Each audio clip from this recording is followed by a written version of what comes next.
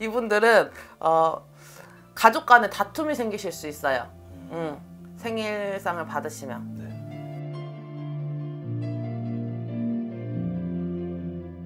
안녕하세요. 태극신당입니다. 반갑습니다. 네. 자, 이번 시간에는 간단하게 설명드릴게요. 생일 잔치. 생일하면은 되게 뜻깊은 날이잖아요. 그렇죠. 근데 생일 잔치를 하면 안 되는 또 띠와 나이 분들이 있다 하더라고요. 네, 있어요. 어, 44살. 이분들은 어, 가족 간에 다툼이 생기실 수 있어요. 음. 음, 생일상을 받으시면. 네.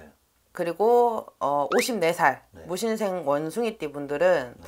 어, 이분들 같은 경우는 전체적으로 뭐 운세나 금전적으로는 괜찮거든요. 네. 근데 생일상을 받으시면 건강에 해를 끼치실 수 있어요. 네. 응. 건강에 문제가 생기실 수도 있고 그리고 또 어, 건강에 조금 주의를 하셔야 될 시기이기도 하기 때문에 네. 이분들 같은 경우는 생일상을 안 차려 드시는 게 좋겠습니다.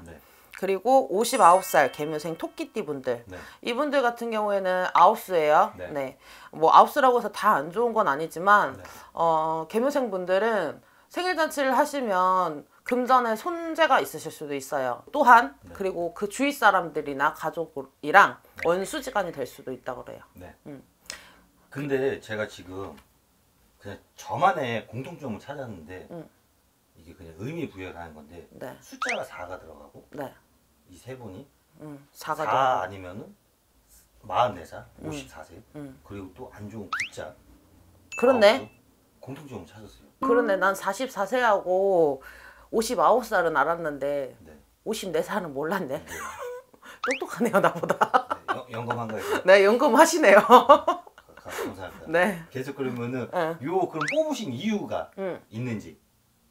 뭐 방금 말씀하신 것처럼 네. 어뭐 44세는 뭐 옛날부터 안 좋으신 안 좋은 운세가 많이 든다고 해요. 그래서 네. 또 43살 4살 들을 때는 뭐 부부 간에 이별 수도 있기도 하고 네. 뭐 공망수가 있기도 하고 뭐 음식 끝으로 부정도 많이 따라 들고 그런다고 하거든요. 네. 그리고 또 54살 같은 경우에는 솔직히 말해서 그냥 내 이거죠 뭐.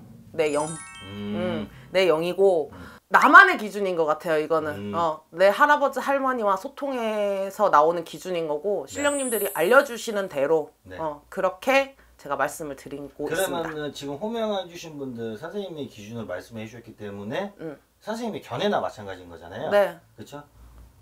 꼭 그래도 웬만하면은 생일을 안 하셨으면 하겠다는 거에 한 표신 거죠? 네, 안 하셨으면 좋겠다의 한 표.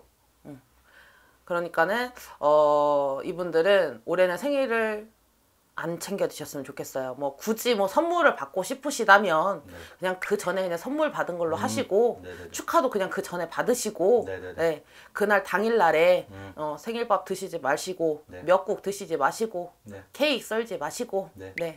잔치상 안 버리셨으면 좋겠습니다. 네. 네 감사합니다. 여기까지 태극신당이었습니다.